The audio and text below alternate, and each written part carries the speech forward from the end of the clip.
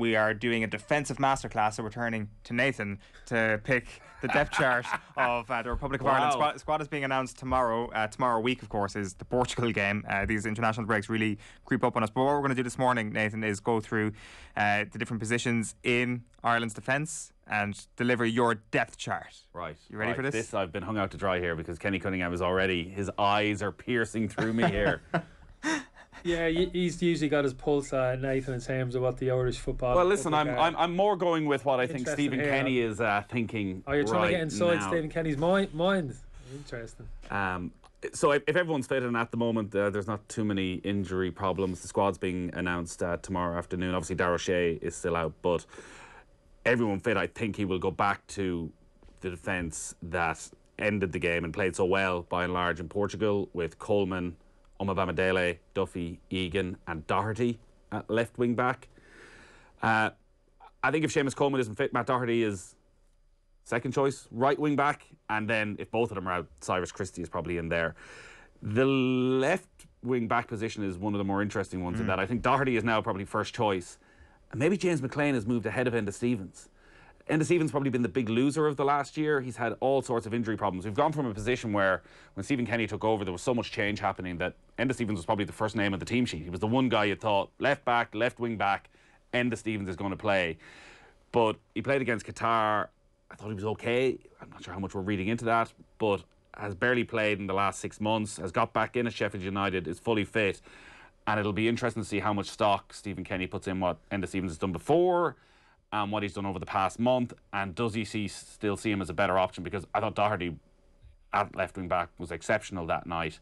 And I'd be surprised if he doesn't start the next night. And McClean is in probably the best form he's been in in a number of years. At club level, he's scoring goals and seems to fit that left wing back position perfectly for what Stephen Kenny wants. So I think it's Coleman, Doherty, Christie on the right hand side, and then probably Doherty, McClean, Stevens at the moment on the left hand side. I agree. We couldn't argue too much what you've said there. All I will say with Enda Stevens, which I think is good to have him in the squad. I think he's more than capable Enda fitting in and playing the left side of a three, at that back three. I think actually that's a position he might actually play more of when he when he gets a little uh, a bit older because I think he's a very competent defender Enda. And I think having somebody playing at that back three who's very co- good defender you can trust, but also very comfortable ball and travelling out and into midfield and looking to and be progressive with their passing, I think it's a big asset. So uh, in terms of the left wing back position, I'd, I'd agree with you. I think people have overtaken him. That's what happens in international football when you're out.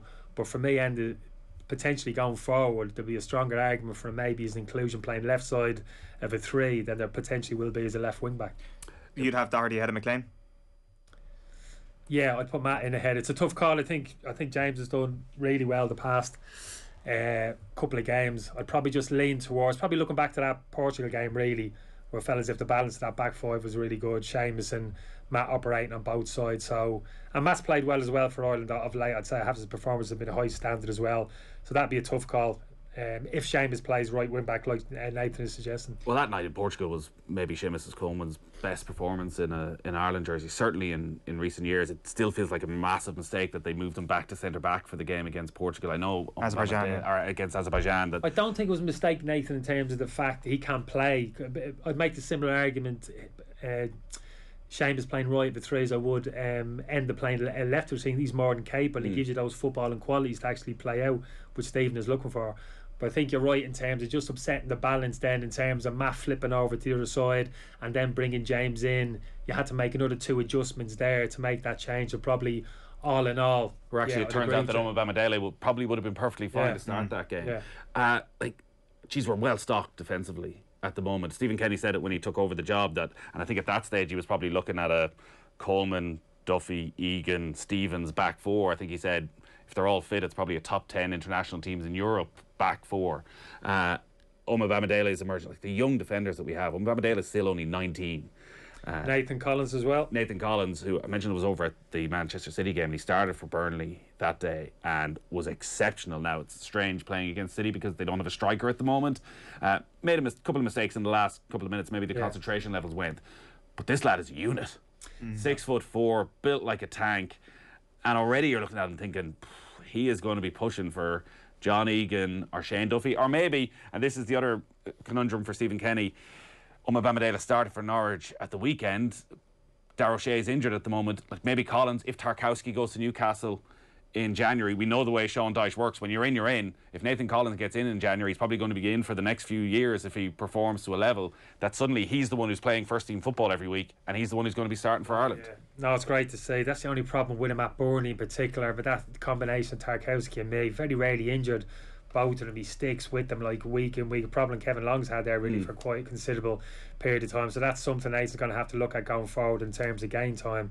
Because yeah, the little bit that I've seen him play, the qualities that you've mentioned, and actually it's those other qualities, just so big but so comfortable on the ball. We got a bit of a flavour against Qatar. He came on for like 20 minutes, but just ball at his feet, simple, just punching it out to the right and left and travelling with the ball looked very comfortable. I actually, he's very similar to, I, I mentioned it once, I played with his old man actually schoolboy football in Dublin, Dave Collins, who was a lovely player, very similar. Dave was powerful for his age, physically very powerful, but a lovely footballer. He went to Liverpool when he was very young, Dave, and he had a he had a career. So obviously, it's been a help having Dave in his ear the past couple of years in terms of his development. But yeah, that's great to see, and I think you're right across that kind of defensive structure now. Uh, Omobamidele and Colin, Nathan Collins in particular, really pushing pushing strong at the moment. Those players in there, so yeah, it's good to see. So, uh, assuming everybody is fit, uh, which may not be the case with everybody in the centre of defence, you're still going on with Bamidele, Duffy, Egan, and O'Shea first man up. Well, O'Shea, O'Shea is injured. He's injured at the moment, but I think as we're looking, uh, we probably need to start once Portugal is done, start looking towards the next qualification campaign.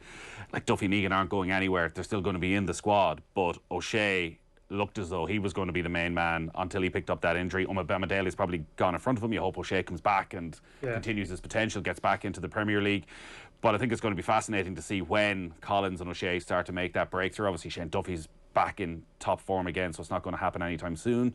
Maybe John Egan, if doesn't get a move or if things don't work out with Sheffield United, is quickly looking over his shoulder, which is what you want, as you said, international level. You need these options.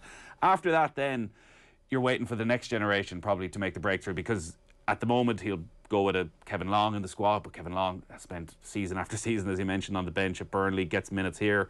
Darragh Lenihan plays all the time. Yeah. sort of feel like he could be one of those now traditional Republic of Ireland late developers at yeah, 27, he's been a bit unlucky, Darragh Lenihan, because any time he's come in, he's had a couple of games, he's some minutes on the pitch. I think he's done absolutely fine, to be honest with you. I couldn't couldn't mark him down. He's looked kind of comfortable, kept thing, uh, kept things simple, which is what you want to do really as a centre half for a club and international football got to be able to trust your defenders, do the simple things, do the right things, be good good decision makers. He hasn't had a huge amount of time. I think he's actually been a little bit unlucky. Darragh Lenihan, he's found himself out of the squad, but that's only a reflection of the level of competition that we have in that area of the pitch now, which is great. Yeah, and then you're into a Jimmy Dunne, who's not yeah. quite getting his game time yet at Queen's Park yeah. Rangers, moved yeah. to Queen's Park Rangers, but hasn't managed to fully break into the team yet.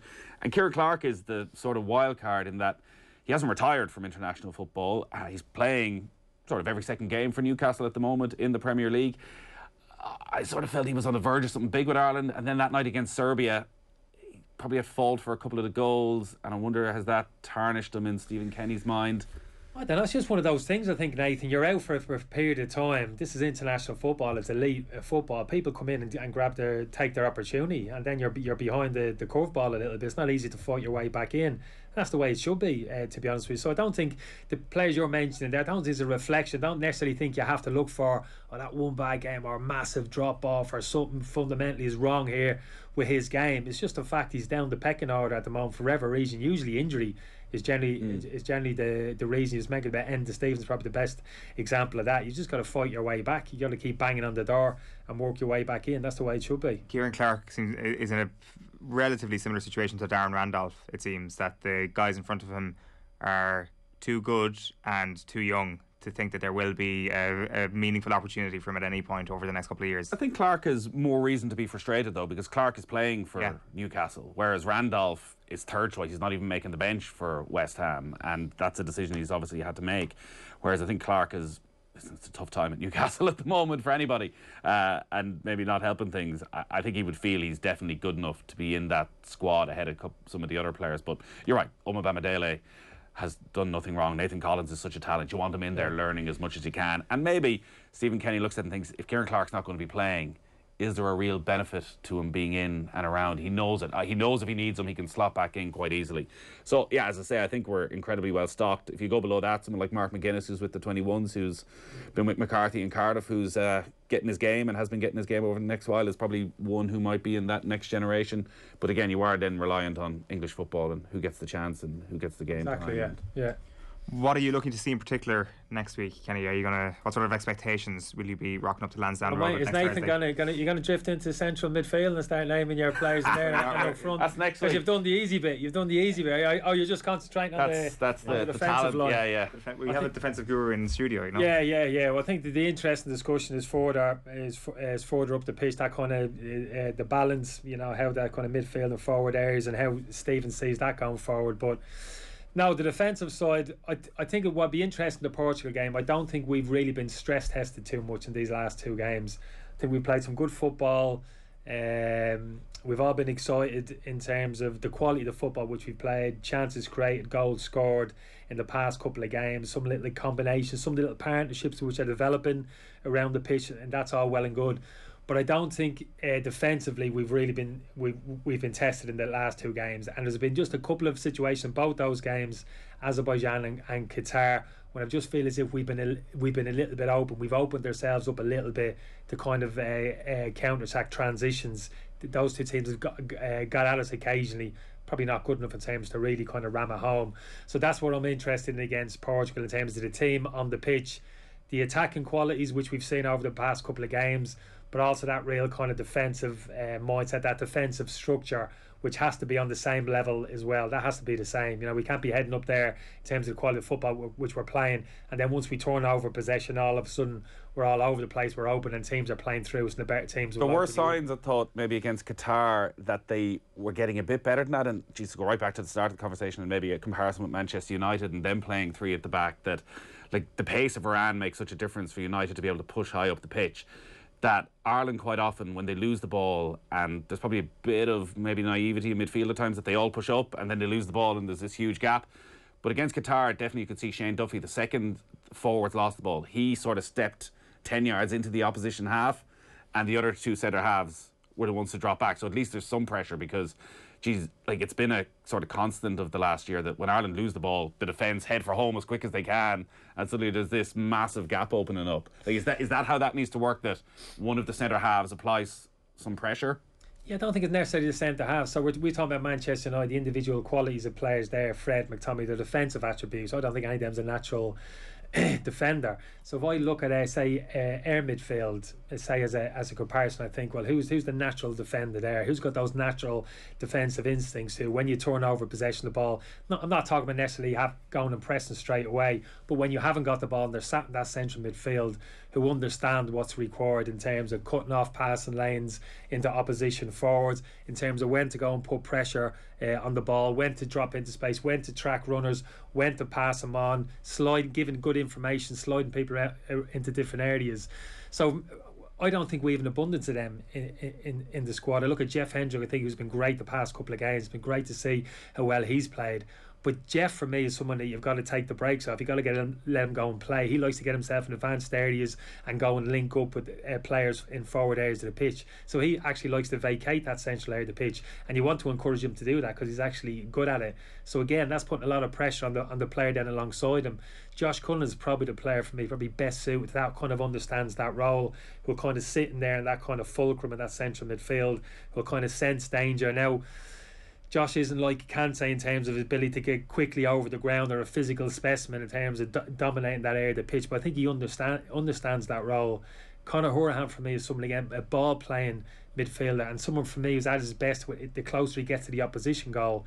We know the delivery's got into the box. You know, once he gets 30 yards from the hmm. opposition box, particularly wide areas, puts great delivery into the box, kind of good range of passing. Seems to have fallen slightly down the pecking order. Yeah, but, but Conor for me doesn't look like somebody at his very best when he's asked to play like defensive role in that central. Kind of go and got make tackles, wrestle the ball off, be a dominant physical presence in that area of the pitch. So He was great the- for Swansea when he went there last season. He was playing in that sort of more advanced sort of number eight kind of. Yeah, exactly. So that's what I've always seen. And for me, I always um, with Jeff and Conor, I'm always in my mind. I'm thinking I'm pushing them higher up the pitch. get closer to the opposition goal, get cl- in closer contact with your front two, front three, and go and play in little combinations and whatever. They're good enough to do that. But then it's all about again that kind of balance. What are you leaving behind you?